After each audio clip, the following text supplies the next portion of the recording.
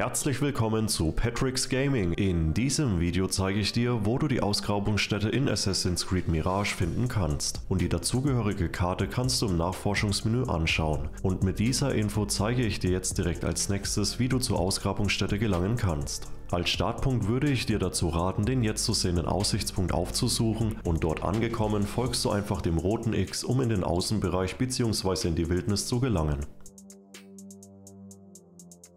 Gameplay-technisch würde das folgendermaßen aussehen und sobald du im Außenbereich angekommen bist, erkläre ich dir, wie es weitergeht.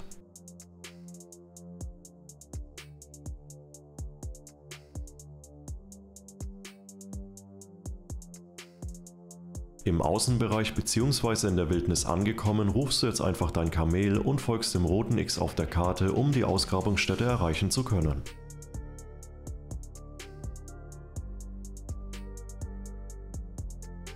Und das jetzt zu sehende Symbol, welches du auf der Karte sehen kannst, ist das Symbol für die Ausgrabungsstätte. Also hierhin musst du dich begeben und sobald du hier angekommen bist, kannst du mit der Finde den vermissten Bruder Quest fortfahren. Und mit diesen Worten nähern wir uns auch schon langsam dem Ende des Videos. Wie gewohnt habe ich dir zwei Playlists zu Assassin's Creed Mirage unten im Video eingeblendet. In dem Sinne, mach's gut und bis zum nächsten Mal. Ciao.